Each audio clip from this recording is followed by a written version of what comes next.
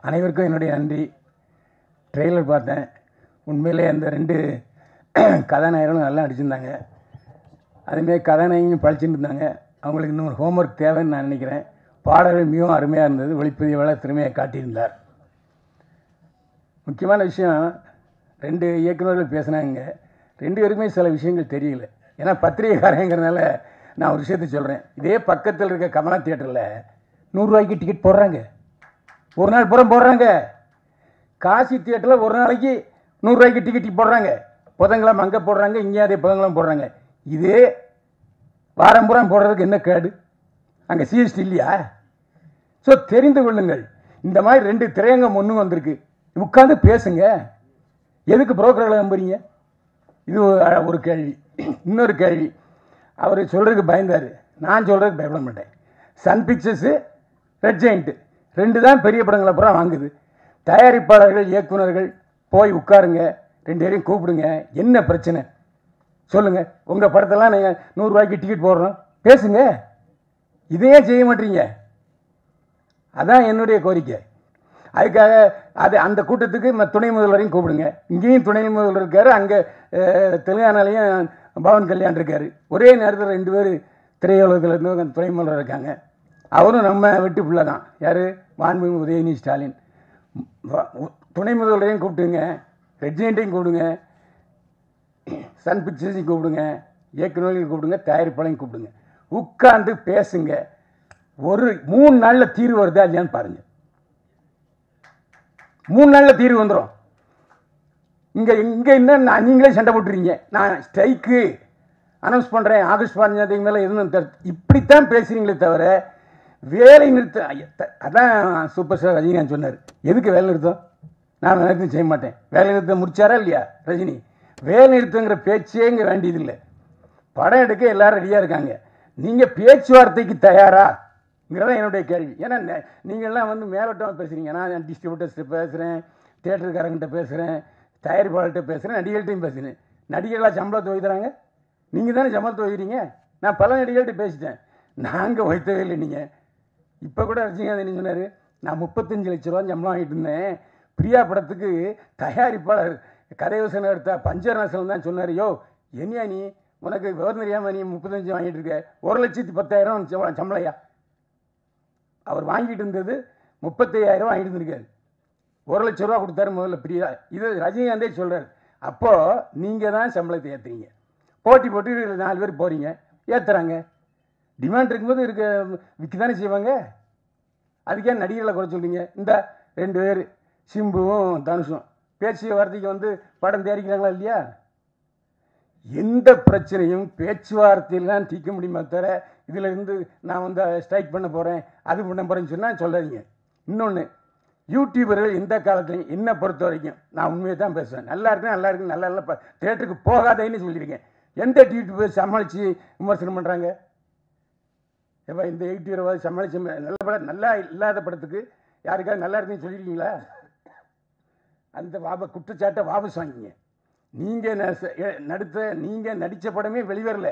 அதுவும் எங்களுக்கு தெரியும். ஆனால் இப்போ தான் நான் முகம் காட்டுறேன்னு சொல்கிறீங்க நாங்களாம் இருக்கோம்யா நீ நீங்கள் கதாநாயகன் நடித்த படம் வந்துச்சா?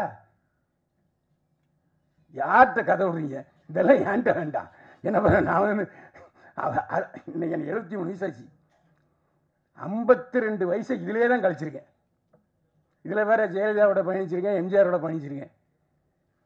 இப்போ நீங்கள் வந்து உங்களுக்கும் அரசுக்கும் ஒரு ஒரு கேப் ஆகி போச்சு. அந்த இடைவெளியை நிரப்புங்க. நீங்கள் ஏன் போய் பேச மாட்டீங்க? நீங்கள் கூப்பிட்டா வர மாட்டாங்களா? நாளைக்கே தயாரிப்பாளர் சங்கம் இயக்குனர் சங்கம் விநியோக சங்கம் லொட்டு லூசுக்கு எல்லாம் போய் நீங்கள் கூப்பிடுங்க. உதயநிதி மாண்பு உதயநிதி ஸ்டாலின் வரமாட்டேன்னு சொல்லுவாரா? இதானாங்க ஒரு பிறந்த வீடு. அவருக்கு இன்னைக்கு துணை முதல்வர் பதவி கிடைச்சிக்கினாலே அவர் நடிகருங்கிறனால தான். இல்லை நான் யாராச்சும் சொல்லுங்க பார்ப்போம் எல்லா அவருடைய தேர்தல் ரெண்டு தேர்தலையும் அவர் தான் தனியாளாக ஆளாக போய் திமுகவுக்கு பிரச்சாரம் பண்ணார். அதனால தான் அவருக்கு இந்த பதவி. இன்றைக்கும் உதயநிதி ஸ்டாலின் மக்களுக்கு தெரியுது துணை முதல்வராக தெரியாது. நடிகராக தான் தெரியும். அந்த அளவுக்கு இந்த தாய் வீடு நீங்கள் பேசுகிறது கூச்சப்படுறீங்க நடப்பு தயாரிப்பாளர் சங்கம் கில்டு லொட்டு லொசுக்கு இதெல்லாம் வேண்டாம். எல்லாரையும் ஒருங்கிணைத்து ஒரே குரலாக இந்த நான் சொன்னது கமலா தேட்டர்லையும் காசி தேட்டர்லையும் நூறுரூவா டிக்கெட்டு அன்னைக்கு ஃபுல்லாகுது நாலு ஷோ போடுறாங்க நாலு ஷோ ஃபுல்லாகுது அப்போ என்ன அர்த்தம்? ஒரு ரெண்டு தேட்டருக்காரங்க லீட் எடுத்து செய்கிறாங்க இல்லையா?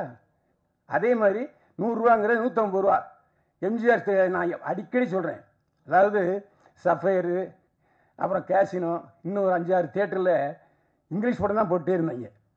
அப்போது முக்தா சீனிவாசன் தான் தயாரிப்பாளர் சங்க தலைவர். நேராக போனார். முதல்வர் எம்ஜிஆர்ட்ட இந்த மாதிரினார் உடனே அவர் தே- அவர் போட்டார்.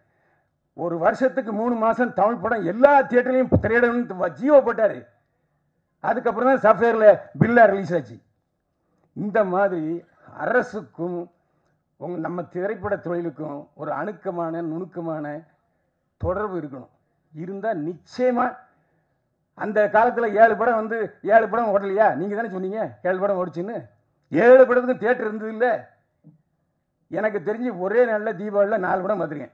பிரச்சனை எம்ஜிஆர் நடிகர் சிவாஜி கணேசன் ஜெய்சங்கர் முத்துராமே நாலு படம் பார்த்துருக்கேன். ஒரே நாளில் நாலு ஷோ அப்படிலாம் பார்க்குறதுக்கு ஜனங்க இருக்காங்க.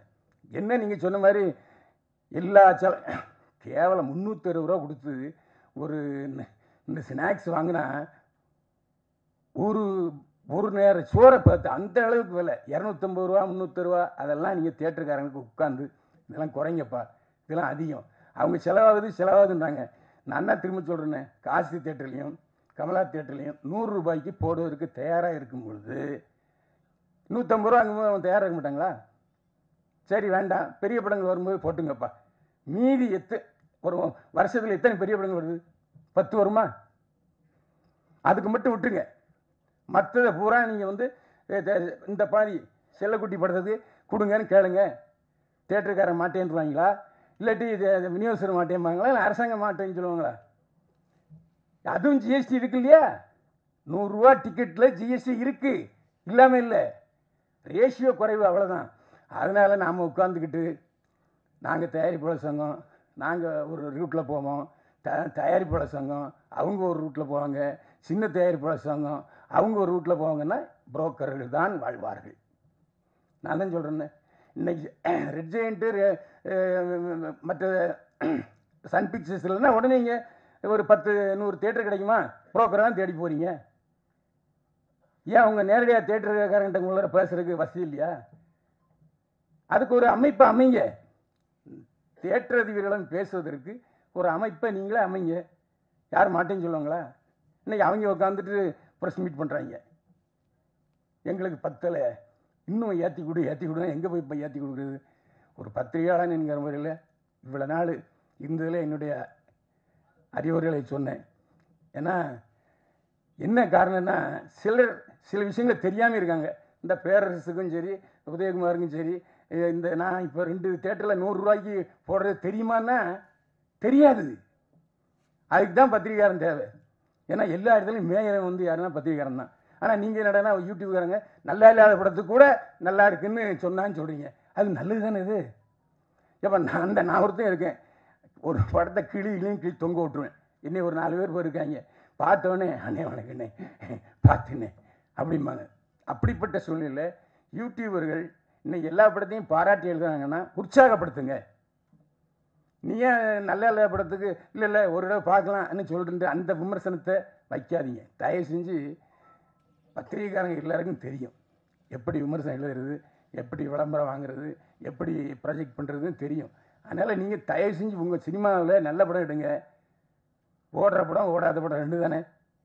இன்றைக்கி ஓடிடிங்கிற ஒரு தளம் இருக்குது அந்த ஓடிடி தளத்தில் பேசுங்க. ஓடிடி தளம் நாலு தளம் இருக்கு இல்லையா? அவங்ககிட்ட பேசுங்க. முன்னாலேயாச்சும் சென்னை சென்னை தமிழ்நாடு ரிலீஸு இல்லைன்னா சிலோன் ரிலீஸு சிலோன் தான் விற்பனை அவ்வளோ விற்பனை. எம்ஜிஆர் படம் சிவாஜி படமும் சிலோன்லாம் நூறு நாள் ஓடும். ஓடிடி தலை இப்போ திடீர்னு ஸ்ட்ரைக் பண்ணுறான் மாட்டேங்கிறான். அவன் சிவப்பு கொடி காமிச்சிட்டான். ஸோ அவங்கள கூப்பிட்டு உட்கார வச்சு என்ன அவங்க பிரச்சனை? சின்ன படங்கள் வாங்குங்க. பேசுங்க. அதுதானே உங்களுக்கு நன்மையை பயக்கும். எ- வியாபார ஸ்தலங்கள் இப்போ சினிமா தேட்டரில் ஒரு வாரம் இப்போ எதுக்கு சினிமா தேட்டரில் வந்து திடீர்னு மூணு நாள் சக்ஸஸ் மீட் வைக்கிறாங்க தெரியுமா? ஓடுற படத்துக்கும் சரி ஓடாத படத்துக்கும் சரி மூணாவது சக்ஸஸ்ஃபுல் சக்ஸஸ் மீட் என்ன காரணம்னா ஓடிடி பிரச்சனை இருக்குது ஓடிடியில் அந்த தளத்தில் இந்த சக்ஸஸ் மீட் வச்சா தான் நிறையா பப்ளிசிட்டி ஆகுதுங்கிறனால தான் இதெல்லாம் தயவு செஞ்சு நீங்கள் அதை யோசிங்க. யோசித்து முடிவெடுங்க. நன்றி வணக்கம்.